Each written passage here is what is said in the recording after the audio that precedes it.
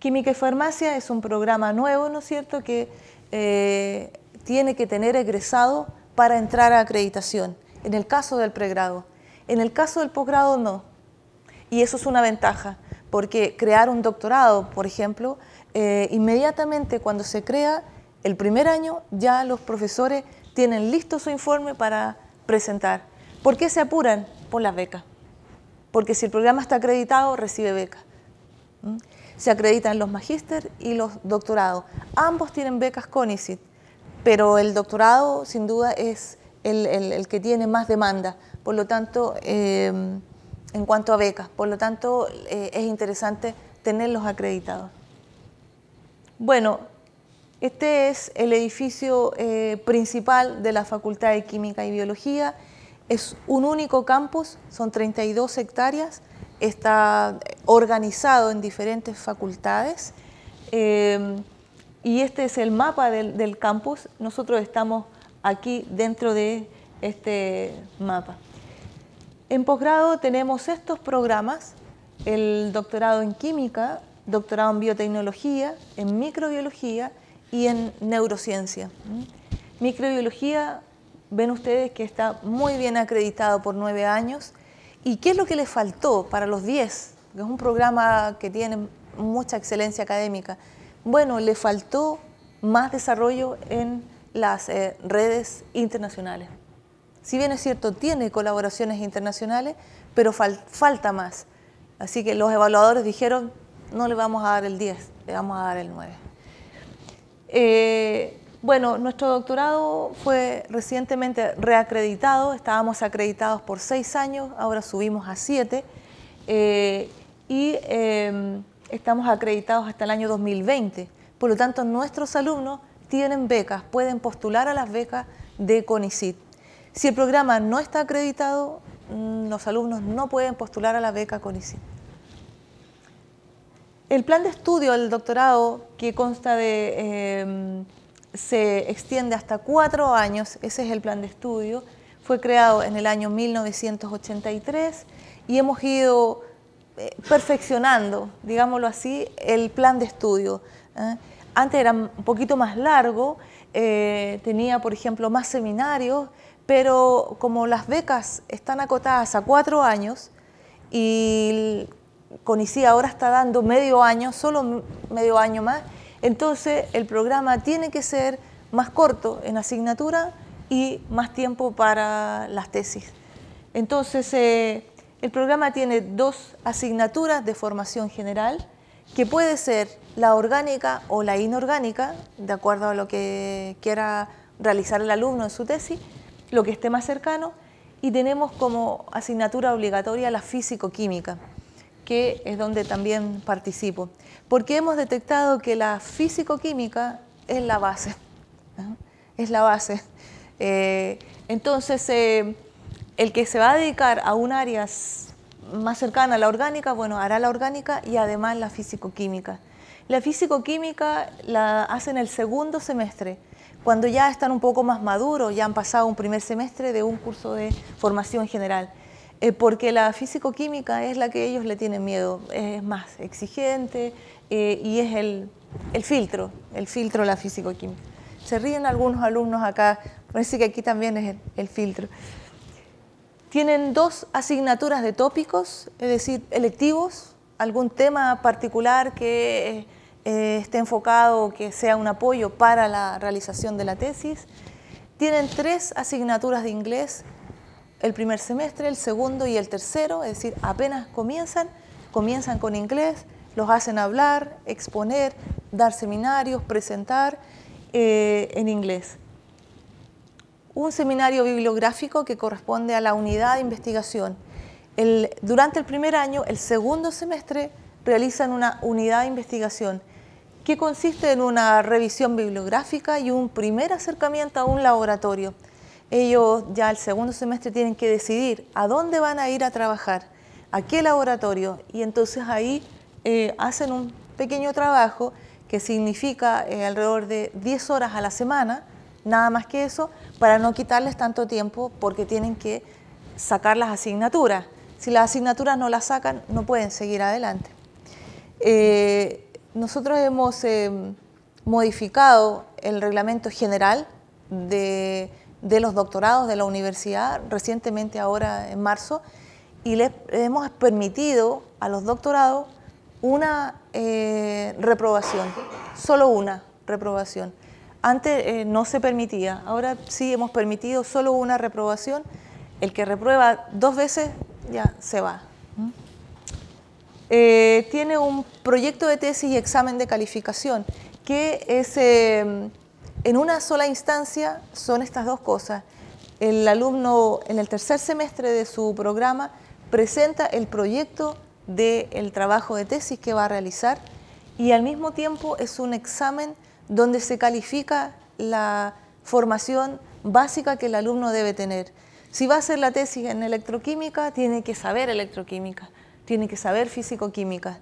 Si la va a hacer en orgánica, entonces la comisión de evaluación lo medirá por ese lado. Tiene dos seminarios de avances de tesis, uno por semestre. Tiene que dar cuenta a la comisión que lo está evaluando desde el proyecto de tesis, lo va a evaluar una vez al año en esa presentación de avance de tesis. Bueno, la tesis y, también hemos eh, eh, introducido una modificación a este reglamento general del doctorado de que todos los doctorados en la universidad tienen que tener al menos un manuscrito sometido a publicación en el momento de dar el examen de grado. Eso antes no era una exigencia a nivel de la universidad, solo los programas lo tenían en sus propios reglamentos. Pero eh, eh, con el fin de levantar los índices de productividad de todos los doctorados, es que hemos eh, introducido esa modificación. La verdad es que hace un año atrás lo hicimos más exigente. Le pusimos ahí que estuviera aceptado o publicado. Y ahí, a la vuelta del año, bueno, recibimos muchas quejas de, varios programas diciendo que, en algunos programas era imposible porque los referees se demoraban, las revistas se demoraban, a veces seis meses o más en contestar si el artículo estaba publicado. Y pasó, pasó en algunas disciplinas, no en química, pero pasó en algunas disciplinas que el alumno no podía dar el examen porque no le llegaba la respuesta del, del journal. ¿ah?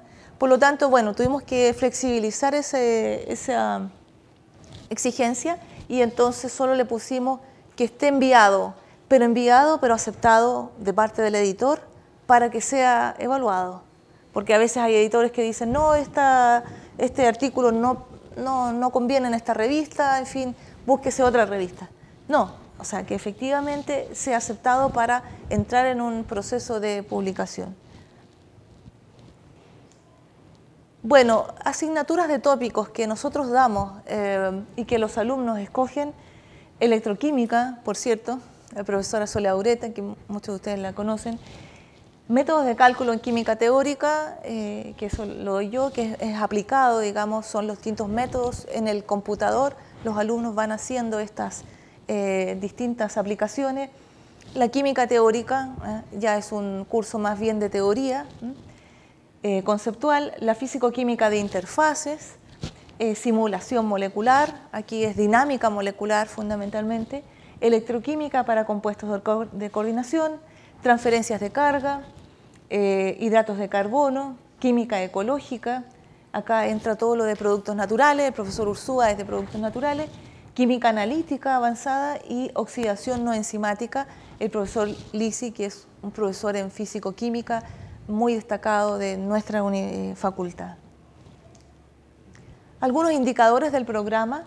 Tenemos actualmente 47 alumnos matriculados del doctorado. Hemos, eh, hasta la fecha tenemos eh, desde el año 83 que ingresó la, primera promoción, 108 alumnos graduados, graduados en realidad. Nuestra tasa de retención es del 70%.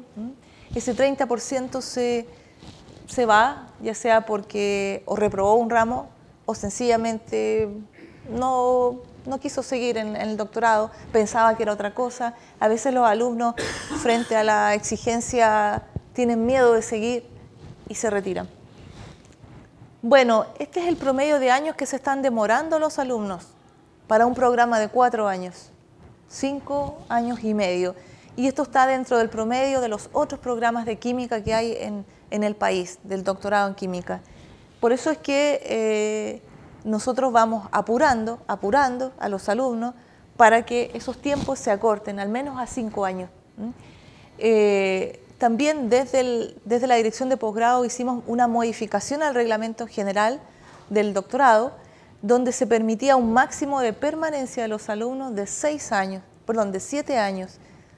Es decir, si no han terminado los siete años, lo siento, se tiene que ir.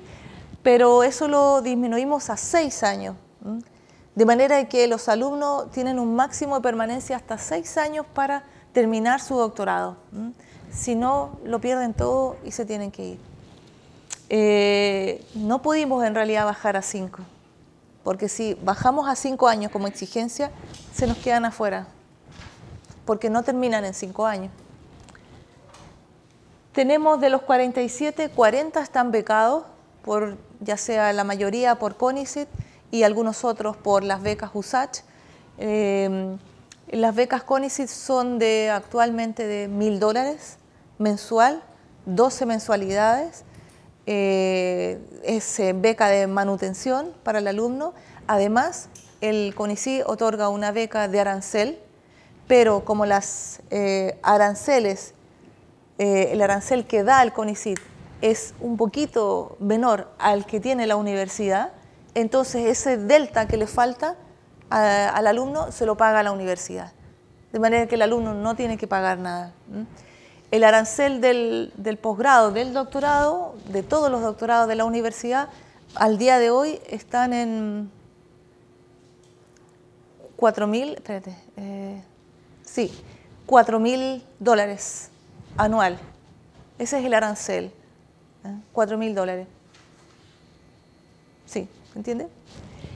Eh, después tenemos 30 profesores del claustro actualmente que cada dos años eh, se abre una convocatoria y se pide a los profesores que, quieran eh, continuar en el claustro, mandar su CV, su currículum actualizado y entonces hay una serie de exigencias que tiene el doctorado y tiene que revisar si efectivamente el, profesor mantiene eh, los indicadores para un periodo de cinco años, ya sea en productividad, que es lo que se mide, en dirección de tesis, que también es lo que se mide, y en la participación de eh, docencia en el programa. Después tiene, tenemos 78 proyectos eh, de tipo Fondesit, eh, Corfo, eh, proyectos FONDAP, bueno, diferentes tipos de proyectos, ya sea en ciencia básica y aplicado. 78 proyectos tiene la facultad de Química y Biología. A nivel macro, la facultad le llaman a nivel de, rectoría la facultad estrella, porque la facultad de Química y Biología es la que tiene mejores índices de investigación tiene los mejores indicadores de todas las facultades, porque química eh, y biología es lo que está más desarrollado en la universidad.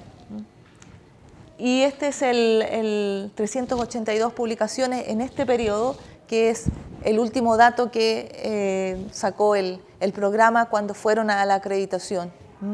Y entonces en promedio tiene de las revistas que se envían, tiene en promedio el factor de impacto es de 226. Bueno, ¿qué laboratorios tenemos? Tenemos laboratorio de radicales libres de Carolina Liaga, eh, tenemos los laboratorios de físico-química orgánica, todos estos son profesores, el laboratorio de hidratos de carbono de Betty Matsuhiro y Mauricio Yáñez, de micología y productos naturales, también en el área de orgánica, eh, y de fitoquímica, algunas fotos de los laboratorios. En inorgánica tenemos el laboratorio del profesor Costamaña y profesor Godoy, laboratorio también de síntesis inorgánica, los profesores Guerrero y Lemos, de magnetismo molecular, profesor Venegas, y de organometálica y catálisis homogénea, también en inorgánica, el profesor Moya.